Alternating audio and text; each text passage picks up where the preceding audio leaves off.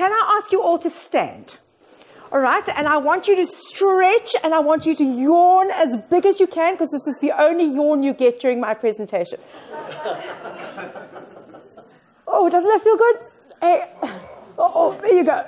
Oh, and you can sit down. There we go. So I find myself in the, the most privileged position of being able to maybe just tie the day together and, and just think about some of the things that we've heard. We've heard about change. We've heard about digital disruption. We've heard about climbing mountains. We've turned, talked about how to speak to our clients, how to sell to them, or how not to sell to them. We have heard about burnout. We've heard about leadership. And what is it that brings all of these things together? And as you have been listening and as you've been thinking, what has been going through your mind and what are the conversations that you have been having?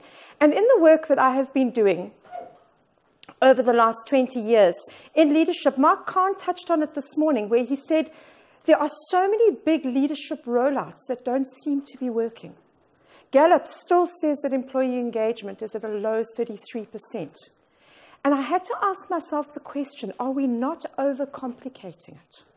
Are we not making engagement, collaboration far more complicated than it should be? And I came across the whole concept of conversational intelligence. And when I looked at it, I thought it can't possibly be that simple. So I want you to think about you woke up this morning and your first conversation, hopefully to your the person that you love, was good morning. Maybe to your colleagues. How many of you actually stopped to listen to the answer? You might have had conversations with your boss, with your, your team, with your customers, with your suppliers. Our day is made up of millions and millions and millions of conversations. We spend the majority of our day in meetings, talking to people. But are we doing it well? So let's take some time to think about the quality of the conversations that we have. And they say we have conversations all day long, and some of them we actually have with other people. Because perhaps the most important conversation is the conversation that we have with ourselves. So I'd like you to reflect on the day. As you were hearing Peter Geldenhuys, who has to be one of the most cleverest people I've ever met, um, when you listen to Ryan, when you listen to Michael, when you listen to Caroline, what was the conversation that was going on inside your head? What were you thinking about? What is the conversation that you're going to have when you go home and say, you know what I heard today? What is the conversation that you have with yourself that is saying, I can do this, I can do something different? Because it's those conversations that we have with ourselves which very often determine the quality of the conversations that we have with others. Now, I could go into the neuroscience of it, and, and there is huge neuroscience that sits underneath this. But what I'd rather do is I'd like to talk about magic. And the reason why I want to do that is because if we pause for long enough and we ask ourselves, what if we had better conversations? What if we could take our conversations and turn them into something special? And rather than giving you science, I gave you magic. And the reason why this was so important to me, because I came across this word here. Can anybody tell me what this word means? Magic. Magic. What else?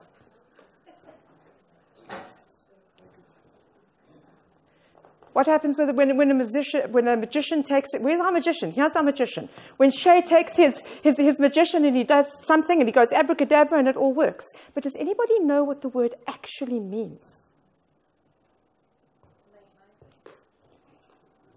Okay, very close, okay?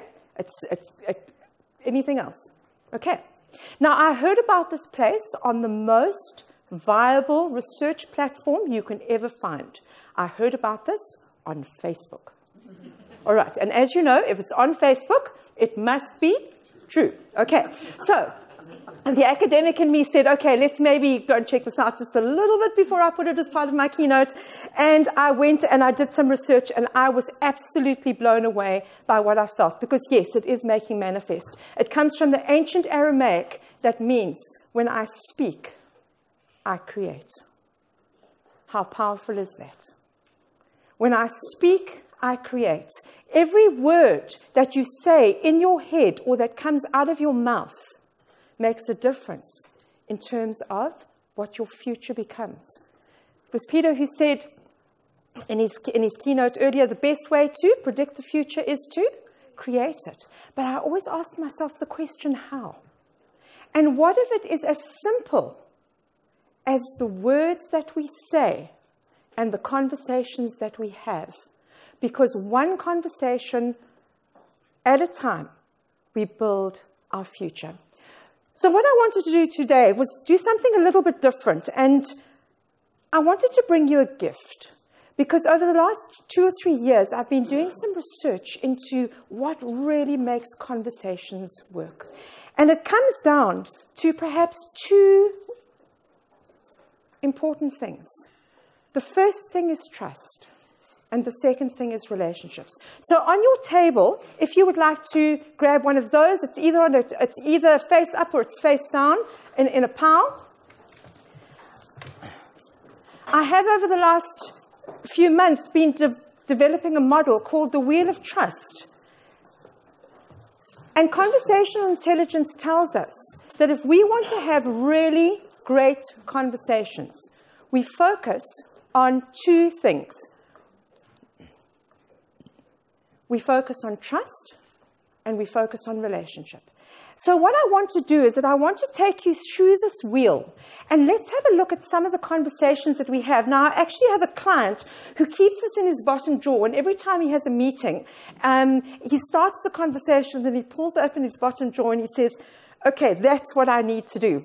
So, I've brought to you today a tool that says when you have a certain response, what kind of conversation should I be having? And to do it in such a practical way. Because remember, we said we had two conversations those we had with other people and those we have with ourselves. So let's go through this. So the first place of, and for some reason my colors are not showing up on the slides. Okay, so have a look at your wheel. The first place we're at is at the red resistance. Now, what I'd like you to do is turn to the person next to you. I'm Shay, if you can do this with me. All right? I want you to do that, palm to palm. Okay, palm to palm. Now, I want you to push. Okay? What happens when somebody pushes? What's, what's your response? Okay, it's always to push back. All right? And where are you going with that conversation? Absolutely Nowhere. All right, so if you are in a conversation and that resistance, I'm sure you never have resistant conversations. So you just tell everybody what to do and they just do it. Am I right? Yeah. there you go. All, right. All right. So when you when you find resistance, when you find this and feel it yourself, feel it actually doing this. How do you actually deal with that conversation? Because the internal conversation, and you will find it in the little speech bubble. All right you will find people who are resistant say, I am right. okay, and the hands cross and the legs cross, and they look at you and say, Convince me. You're not going to convince me. Why? Because I am right. And so, what we tend to do is that we, we, we want to push back. So, what we do is say, Listen, I'm telling you. I'm telling you. And the finger goes and the hands go. This is how it works. And we wonder why we don't get a response. So I want you, as we're going around, I actually want you to make a note of some of the conversations that you have had where you have either experienced resistance or you have seen resistance in yourself. All right. And one of the clear things, gentlemen, all right, if your wife ever says to you, fine, all right, that is probably a fairly clear, clear case of resistance. All right? It is not okay. All right. That is not the green light to go ahead. All right. So, so very often what we, we need to do is listen to the verbal cues of what's actually coming across, the verbal and the non-verbal cues of resistance. So what is the strategy that we use to change that? We tune in. Instead of pushing back, listen. And in order to listen, you have to switch off your internal conversation. And you have to open up the space to listen deeply. Ask questions rather than making statements. So say more of that. Ask questions. asking questions is the most wonderful way to invite people to discovery. The next part on your wheel, if you'd like to look at your wheel with me, is indifference. That's the hardest one. Because how do you actually move somebody from, in, from indifference? And at this edge of the wheel, we have low trust conversations, and people are physically resisting you. The, your brain is resisting you. But when we have conversations that are around indifference, what happens is people are saying you don't care. And caring is at the heart of trust. Connection is at the heart of trust.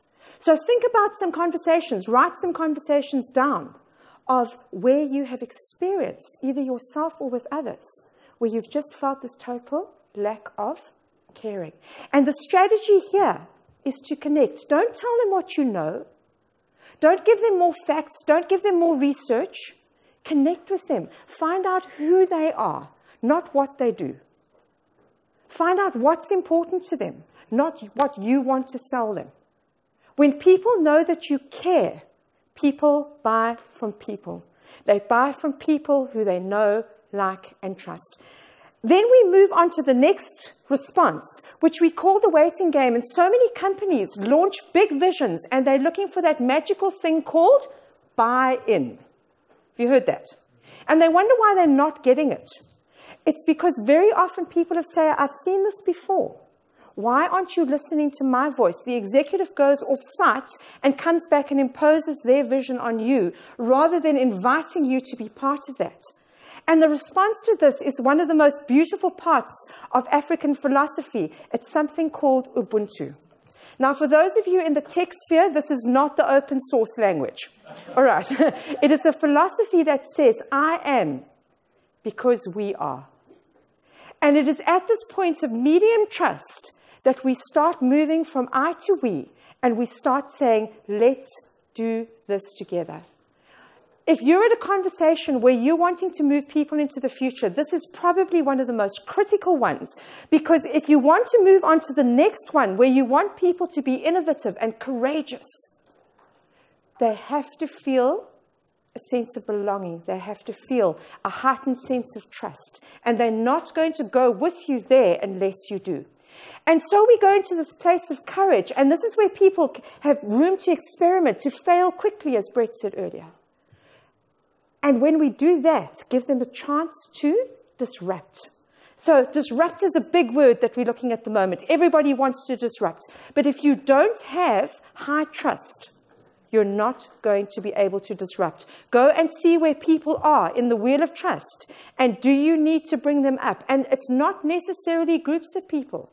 It could be individuals. So if you're at a place at the moment where you're trying to disrupt in your industry, how will you take people there? And then we all get to that place that we are really, really looking for, and that is to the place of collaboration. That mythical place that we all want to get to with our customers, with our employees, with our colleagues, with our delegates, and we want to work together. You can only get to collaboration when there is high trust. And the third element of trust, you've got, first of all, who am I? It's about character. It's about connection. It's about relationship. The third part of trust is credibility and delivery. If you want collaboration to work really, really well, you have to be saying, where is the mutual value for both of us? Where can we both achieve more? Where can we create the synergy of making things happen? So those are the five places of trust in the wheel of trust. Where are you in these on this particular wheel in your various conversations.